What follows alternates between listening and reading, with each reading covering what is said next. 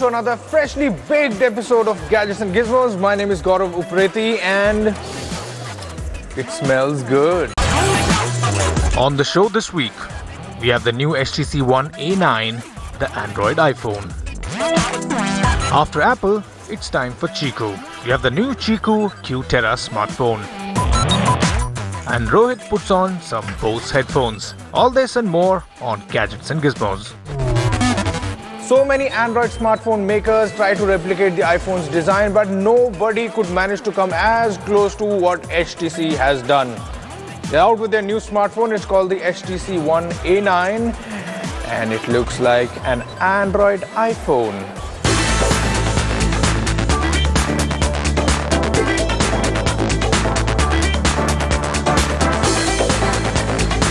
This is HTC's new smartphone, HTC One A9. A phone that would be known as HTC's iPhone. Why? Well, because it looks like the iPhone. All metal unibody design, those beautifully cut edges, and the back with antenna lines and the protruding camera. Well, the only difference is the logo. With the HTC One A9, HTC says that this is the design worth imitating and I totally agree man. Every phone should look like this. This is a beautiful phone, you know. or Orig Who are you? Who are you? Am I me or are you me? I am myself. You figure out who you are. Okay, so this is the HTC One A9.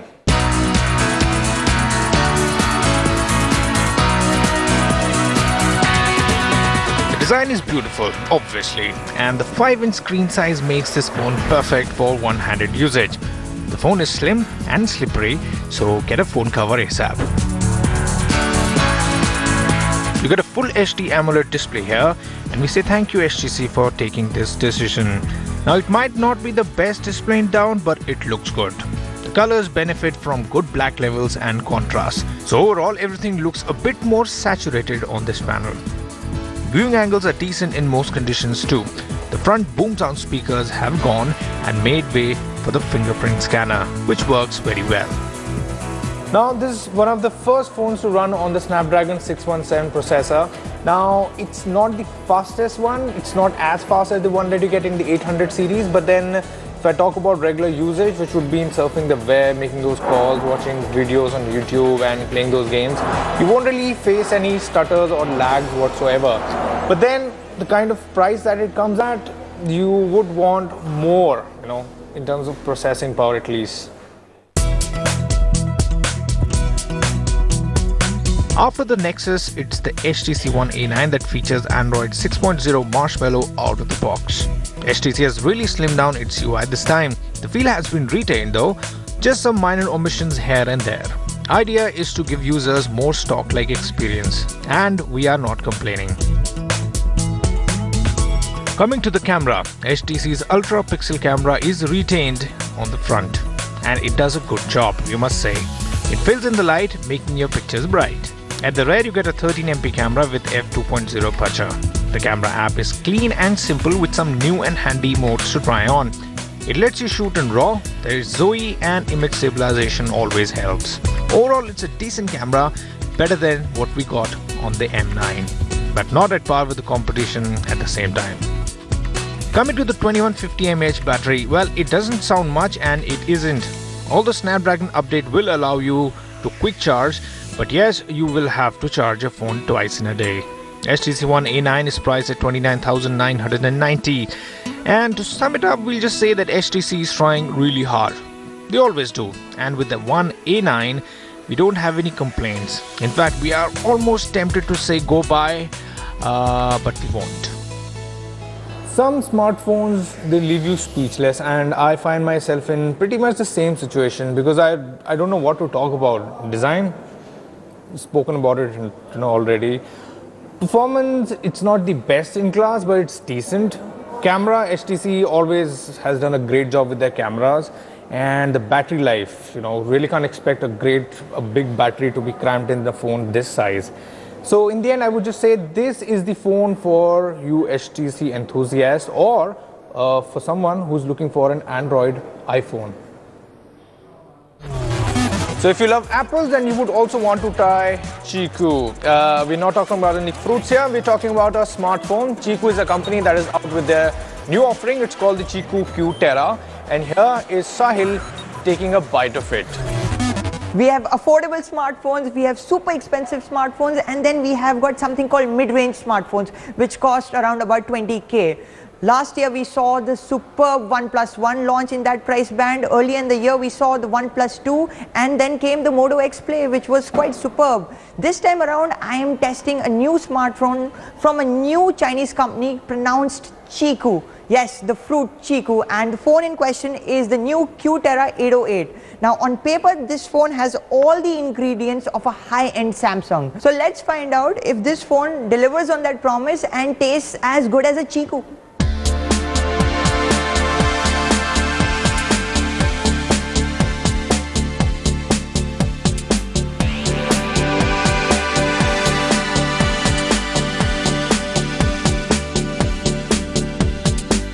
Now the main calling card of the Q-Terra 808 is design. Now the engineers at QiKU have overcome the Herculean task of cramming in a massive 6-inch display inside a frame which would normally be used for a phone with a 5.5 inch screen. As you can see I have the iPhone 6s Plus and uh, it consumes around about the same amount of space as the Q-Terra 808 which is absolutely insane. Even in terms of build quality this phone is superbly built. It uses a full rock solid metal frame which feels really nice in your hands and is really solid. Also, this phone design-wise reminds us a bit of the two-year-old HTC M7 which was a superb phone in its own right. The big difference being this is slightly bigger.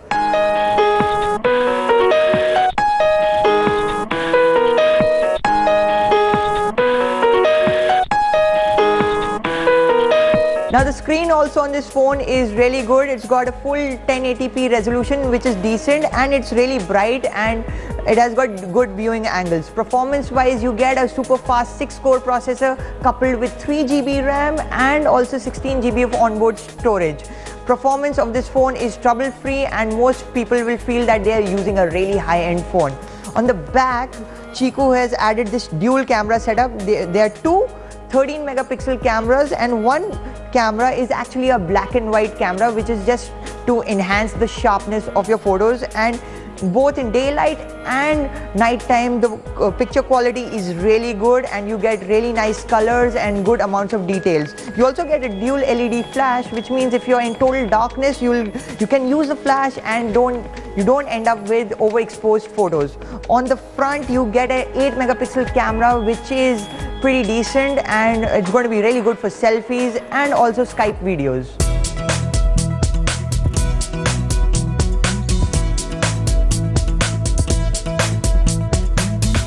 Now the most amazing bit about this phone is its battery life because it is absolutely insane. You get almost two days of charge time on this phone and this phone supports quick charge capabilities which means that this phone is a real road runner. On our PC Mark test which is a really strenuous test that we run on uh, all our test units, this phone scored around about 12 hours and 18 minutes which is the highest we have ever got on a smartphone which means this phone will really perform well and by the way there's also a fingerprint scanner out here on the back which means I can do this to unlock the phone.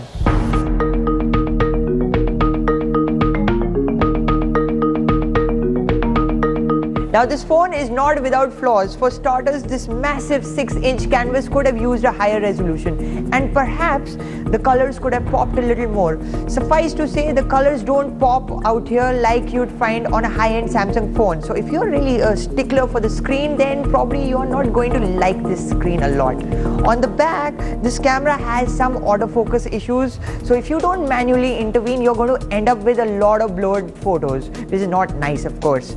Also, this interface, this custom Android interface is decent. Uh, it has got a lot of cool features, but at the same time, this means that it's not going to receive the update to Android Marshmallow very quickly, and you are going to see some bugs here and there, which of course is again not nice. But apart from these minor niggles, I have no hesitation in saying that this phone is probably the best smartphone you can buy for under 22,000 rupees and if you get an invite for it then you can get it for even cheaper which is quite amazing now with that let me spend some alone time with my new fruit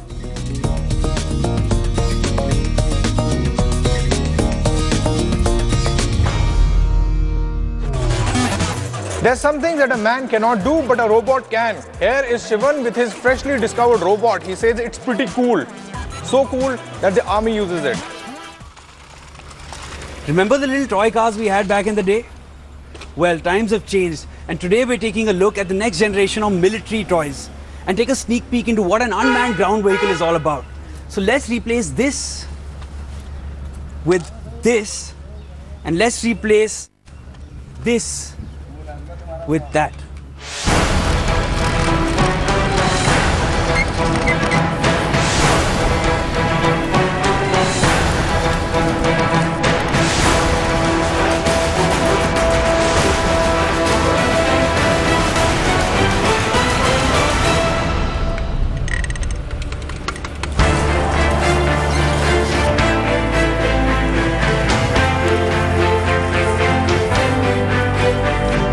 This is a mini UGV, an unmanned ground vehicle developed by DRDO, which comes with a battery operated remote control unit.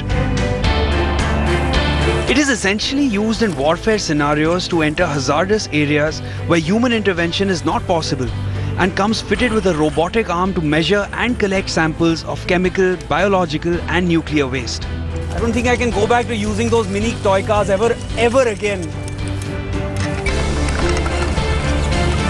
It has these track wheels and I think it can go over any terrain. As you can see, we're in quite a rough area, but this vehicle doesn't seem to stop anywhere.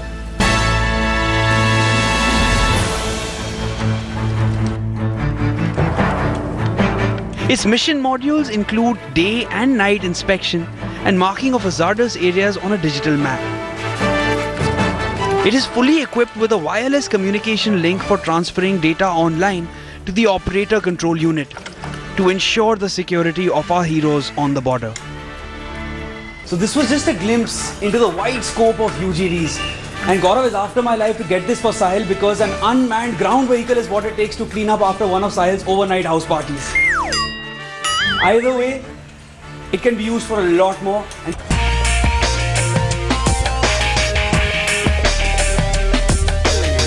Today I'm going to be talking about a lamp.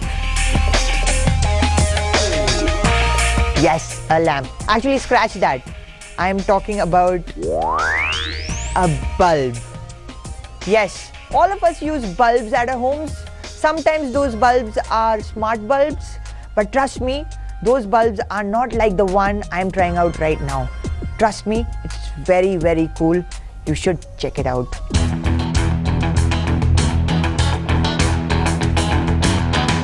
So out here I am testing out the IOTA light which is a smart bulb by a startup called Cube26. Now that's not very important but the cool thing here to note is that this is a smart bulb which you control using an app on both the iPhone and on Android smartphones. As you can see I have a color palette picker out here so if I choose a color and the color of the light is going to automatically change which is very cool in itself but there's a lot more that you can achieve out here. You can control multiple bulbs from the app itself. You can turn them on and off. And you can also sync up your music so that the uh, lights change in lockstep with the beat of the music you're listening to, which I am doing out here.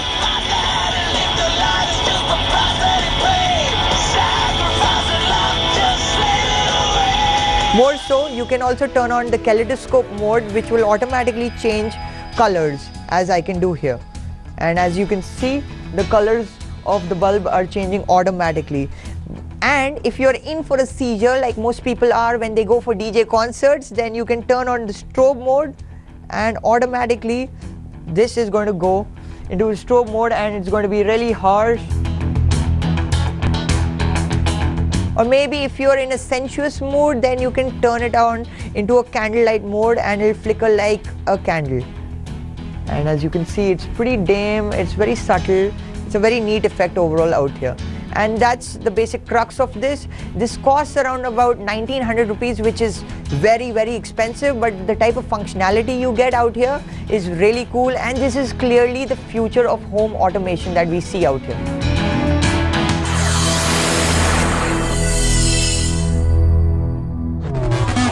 Now Rohit does only two things in life. Actually it's four. He can't do four things. Yeah, so one is gaming and one is listening to music. And he has found this cool new pair of headphones from Bose called the Bose SoundLink 2 and he's been using them a lot. So time to go and annoy him. Or Sarma ji enjoying herself in the fine weather morning. But can you believe it? This is 2 p.m. man, afternoon. I was like morning, but somebody told me this is smog. You know, normally I'm all for hearing people out and helping them with their problems, but there are a few cases where I make exceptions. and she said, You're not funny. I'm like, What are you saying? Not funny. And the bird is chirping. But thankfully, I have something to help me with this little problem. And she's like, This baby is yours, yaar. I'm like, Look at him, yaar. But then she said, She has the same hairstyle as you. You know? I'm like, oh, no, this is, Every baby is bald, yaar. But can you believe it is not morning?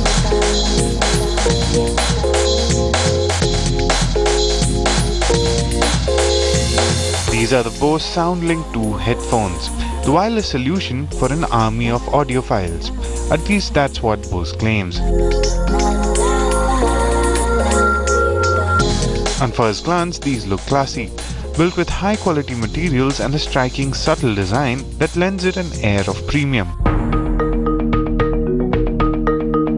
Can bend and adjust to head sizes just fine, and the cans themselves are open enough to accommodate abnormally big ears like mine.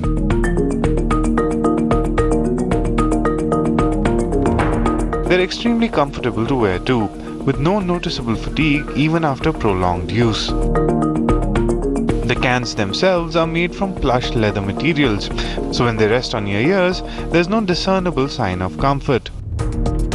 You also get a leather carry bag in the package, which is a nice touch. About the only thing we can complain about the design is the position of the volume controls, but since these are Bluetooth, they had to put these somewhere, didn't they?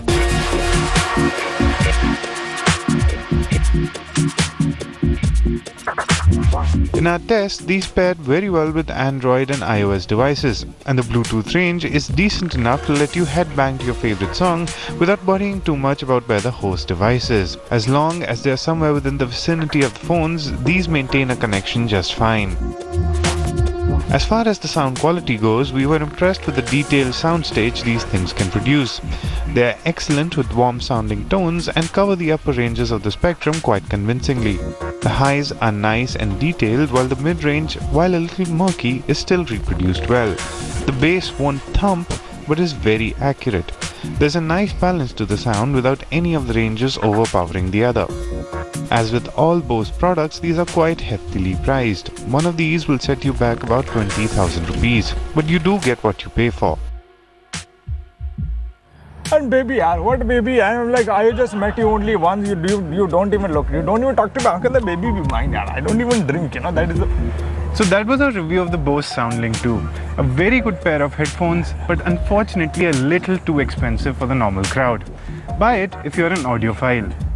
And then I told her, look at the baby, it has a big nose, yeah. I'm sure it's yours. She's going for DNA testing. Wait, what baby? Hello? Time to see what's making news in the world of technology. It's time for Tech News.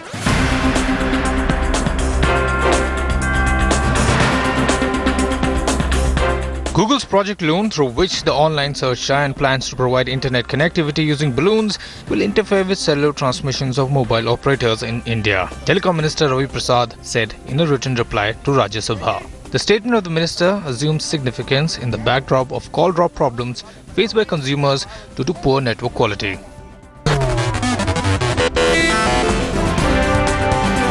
Three international space station crew members landed safely in the Kazakh city of Zhezkazgan this Friday. A capsule carrying NASA astronauts was found by a search and rescue group whose four helicopters braved very strong winds and low clouds to reach the touchdown site.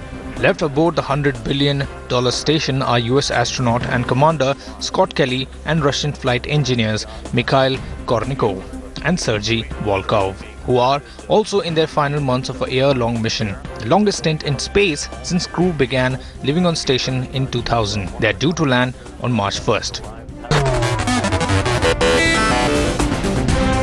Mark Zuckerberg is already teaching daughter Max quantum physics. Facebook CEO Mark Zuckerberg has his own way of going about parenting. Zuckerberg, who recently became a dad and who is on a two month paternity leave, has posted a cute family picture on his Facebook timeline showing him and wife Priscilla Chan reading a book on quantum physics to their week old daughter Maxima.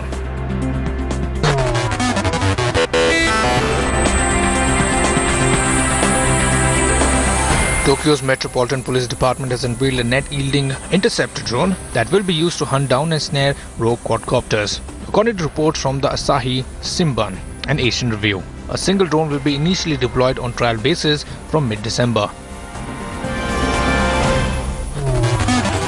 with that, it's a wrap. We hope you enjoyed watching the episode. We'll be back next week. And if you have any questions and queries, very good. We'll be back next week with more of Gadget and Gizmos.